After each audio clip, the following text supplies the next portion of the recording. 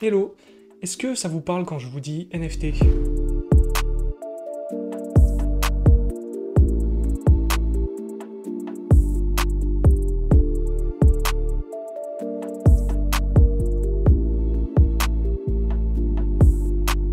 Clairement, si t'as pas entendu parler de ça, c'est que tu vis dans une grotte. Parce que depuis début 2022, et notamment en 2021, c'est impossible d'être passé à côté de ce phénomène, tout le monde en parle. Mais ça veut surtout dire que t'as pas vu nos deux vidéos sur le sujet, donc je te conseille d'aller les voir avant de poursuivre la vidéo. Bref, les NFT c'est génial, les applications qui en découlent sont révolutionnaires, ça pourra peut-être même guérir le cancer un jour. Ah ça, ça reste à prouver. Mais au-delà de tous ces aspects positifs, il y a quand même des petits trucs qui me dérangent, et on va donc parler aujourd'hui des problèmes qui entourent la technologie des NFT. Parce que si on y regarde de plus près, est-ce que ce serait pas un énorme bordel tout ça? Ou puis même le mot qui fait peur, une énorme bulle je vous en parle juste après le générique.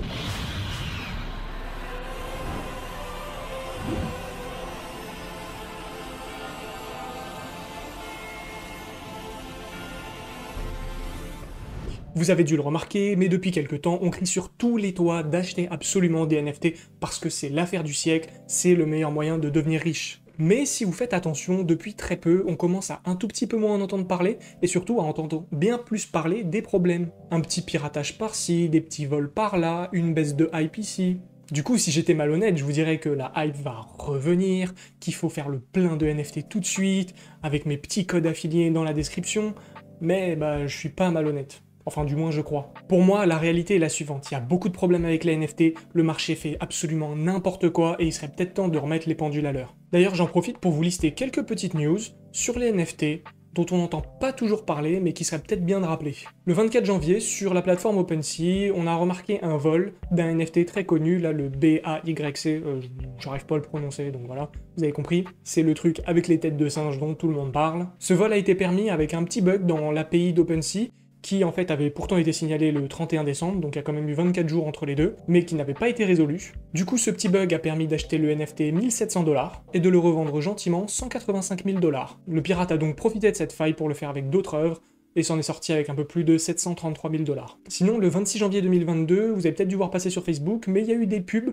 pour un site qui se faisait passer pour être celui de Digimental. On vous proposait d'acheter des NFT euh, avec des prix au rabais concrètement, sauf que lorsque, bah, ce qu'on fait habituellement, on arrive sur le site, on connecte notre wallet, on vous prélevait 0,1 ETH via le smart contract que vous venez de signer, et même mieux que ça, dans le meilleur des cas, on vous volait tout ce qu'il y avait dans votre compte.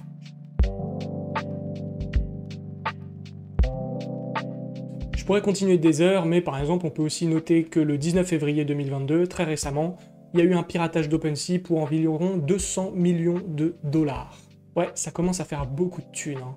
Ah, mais je pourrais même vous parler d'une petite anecdote assez drôle. Est-ce que vous vous souvenez de Nabila en 2018 qui vous dit d'acheter du Bitcoin? Normalement, tout le monde en a entendu parler, mais sachez que juste après ça, le cours du Bitcoin s'est absolument effondré, bear market, vous connaissez la suite, c'était pas ouf. Et là, si je vous disais qu'un célèbre influenceur français connu sous le nom de Sebi Daddy fait des pubs sur Snap, en promotant des sites où on peut acheter des NFT et des liens Discord.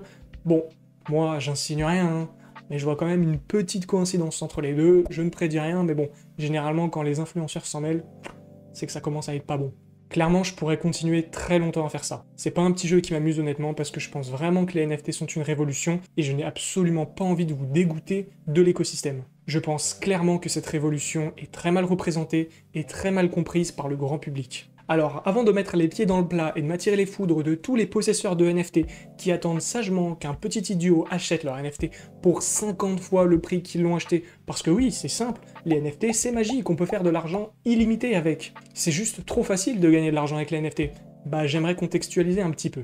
Ici je vais m'attaquer à la dimension artistique des NFT, c'est-à-dire de rendre unique une image que n'importe qui pourrait créer en soi, donc un fichier JPEG, un fichier PNG, qu'on pourrait ensuite revendre sur OpenSea ou Rarible par exemple. Cette distinction me semble importante, parce que peu de gens sont au courant que les NFT ce n'est pas que ça. Et oui, parce que les champs d'application des NFT sont infinis. Ça pourrait par exemple révolutionner le marché du jeu vidéo en permettant aux éditeurs de vendre des versions dématérialisées des jeux, et de mettre ces jeux dématérialisés ensuite sur le marché de l'occasion, toujours sous forme dématérialisée. Parce qu'actuellement, quand vous achetez un jeu d'occasion c'est seulement en CD, vous ne pouvez pas revendre un jeu dématérialisé que vous avez acheté, sauf que là, avec les NFT, vous pouvez acheter auprès d'un éditeur un jeu sous forme de NFT dématérialisé, que vous pourrez ensuite revendre, chose qui n'est impossible. Donc déjà, ça vous permet de revendre un jeu que vous avez acheté, et donc bah, de gagner de l'argent sur euh, votre investissement initial, mais ça peut aussi profiter à l'éditeur, qui lui peut toucher des royalties sur toute la revente, parce qu'actuellement, sur le marché de l'occasion, si vous revendez votre CD, l'éditeur ne touche plus rien.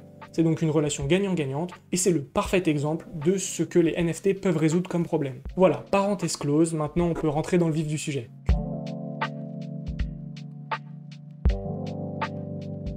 Que tu aies déjà acheté des NFT, peu importe la raison, peu importe le motif, et peu importe le montant, j'aimerais d'abord te poser une question. Est-ce que, avant tout ça, tu avais envisagé d'acheter une œuvre d'art de type un tableau? Et si oui, pourquoi J'attends vraiment vos réponses dans les commentaires. Est-ce que, si vous êtes possesseur de NFT, vous aviez déjà envisagé ou est-ce que vous avez déjà acheté une œuvre physique comme un tableau? Dites-le moi dans les commentaires, c'est hyper intéressant je trouve. C'est vraiment une question que j'aimerais poser à beaucoup de possesseurs de NFT en 2022. Car je me mouille pas trop en disant que plus de la moitié, j'ai absolument aucun chiffre en tête, hein, mais je pense que plus de la moitié des possesseurs de NFT n'ont jamais songé, ne serait-ce qu'une seconde, à acheter un tableau dans une galerie d'art par exemple. Du coup, sans vouloir faire de conclusions trop hâtives, je pense qu'on peut être d'accord sur le fait que la majorité des personnes qui achètent des NFT aujourd'hui ont pour objectif de les revendre plus tard pour en tirer des profits. Qu'ils achètent un CryptoPunk qui est en fait quelques pixels de couleur ou le plus beau gif animé, ils s'en branlent. Je pense que le but c'est clairement de faire de l'oseille. Et je n'ai aucun souci avec ça. J'adore l'argent. Non mais sérieusement, hein, moi, s'il y a de l'argent à gagner, je suis le premier à être intéressé, je vois aucun souci là-dedans. Je suis clairement pas un putain de communiste qui va vous dire attention si vous pouvez gagner de l'argent, non, clairement. Je trouve que c'est génial de pouvoir gagner de l'argent de quelconque façon. Mais il y a quand même quelque chose qui me dérange fortement. Si je prends l'exemple des cryptos, lorsque vous achetez une crypto, bien que ce soit dématérialisé, vous me direz acheter une action actuellement, c'est aussi dématérialisé, c'est investir dans un projet avant tout, une vision, une entreprise, quelque chose, entre guillemets, de concret. Après, je vous parle pas de tous les shitcoins, je vous parle d'une crypto adossée à un projet sérieux, avec une vraie équipe qui travaille derrière. Ça peut également être investir dans une réserve de valeur, ce qui est beaucoup le cas pour Bitcoin par exemple. Beaucoup pensent que le Bitcoin est l'or numérique, j'en fais d'ailleurs partie, et donc le voient comme une réserve de valeur, une sorte de valeur refuge dans laquelle acheter du Bitcoin est entre guillemets une sécurité pour se protéger contre tous les risques financiers liés aux monnaies fiduciaires. Mais vous pouvez aussi acheter par exemple un jeton d'utilité, comme le BNB que vous trouvez sur Binance, qui vous permet de payer les frais de transaction, de potentiellement faire des bénéfices s'il prend de la valeur. Mais voilà, c'est un jeton qui va être utile, vous pouvez payer les frais, participer à des launchpads, interagir sur Binance, bref, c'est un jeton utile. Ou même acheter un jeton de gouvernance, comme le jeton d'Uniswap, qui est éponyme d'ailleurs, qui s'appelle Uniswap, qui va vous permettre de voter pour les choix qui vont être faits sur la plateforme, ajouter une feature ou pas. Selon ce que vous possédez comme jeton, vous avez un droit de vote qui aura un impact proportionnel. C'est donc un jeton de gouvernance qui, en soi, a une utilité aussi. Vous l'avez donc compris, si vous achetez une crypto-monnaie et que le projet fonctionne, vous pouvez espérer une plus-value sur le jeton associé. C'est absolument pas sans risque, c'est pas ce que je dis. Mais ce que je veux dire par là, c'est que la subjectivité repose dans l'intérêt que vous portez au projet. Deux personnes n'auront pas le même avis sur un projet.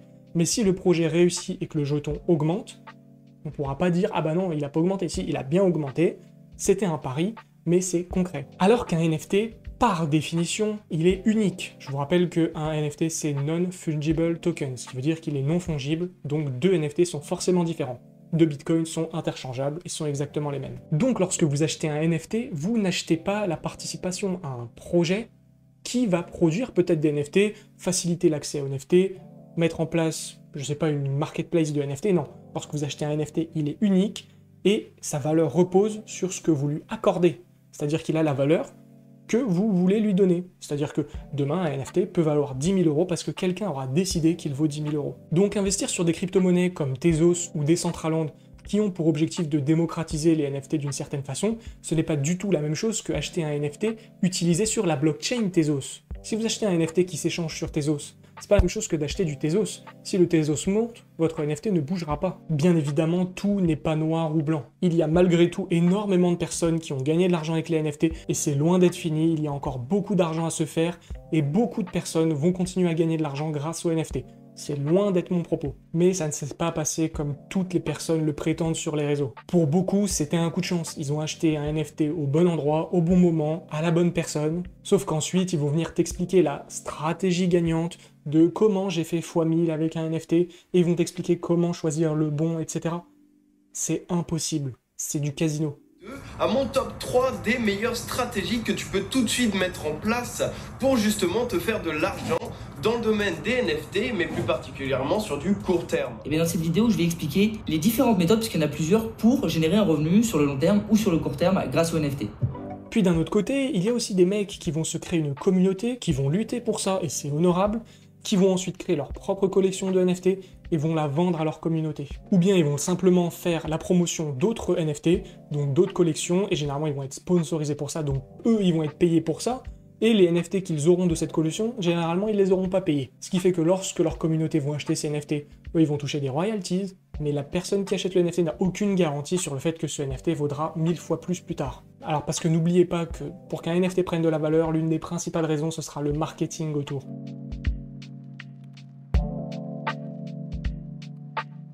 Je pense que le vrai problème avec les NFT, c'est le même qu'avec les cryptos en général. Je pense que c'est la façon dont tout cet écosystème est représenté dans les médias ou sur les réseaux. Et je ne blâme clairement pas les responsables, au contraire, je les comprends. Faire une vidéo prédiction du prix du Shiba dans 6 mois, comme quoi il va faire un x10, c'est bien plus intéressant et surtout, ça fait beaucoup plus de clics qu'une vidéo technique de 35 minutes qui explique comment fonctionne la non-fongibilité d'un NFT.